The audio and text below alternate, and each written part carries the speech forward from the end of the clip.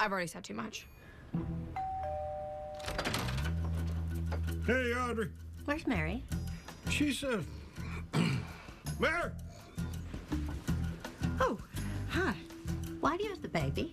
Um, it's kind of a long story. Why do you have the baby?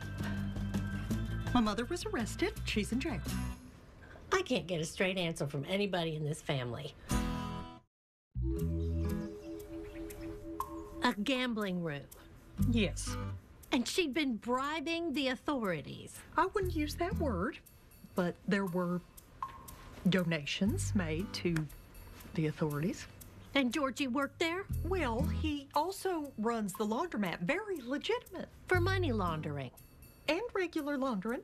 I can't believe kind of a family has my daughter married into? To be clear, I did not condone any of this. Doesn't matter. This is a criminal environment, and I'm taking the baby. Over my dead body. Cece is my granddaughter too, and she is perfectly safe here. Well, as long as she's here, I'm here. Fine. Are you hungry? I have half a bucket of spaghetti in the fridge.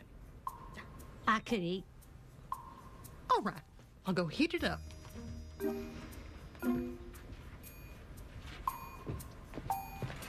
What? You think I'm gonna take the baby and run? Yes, would you like some garlic bread? That sounds nice. You know, we should really start looking for our own place.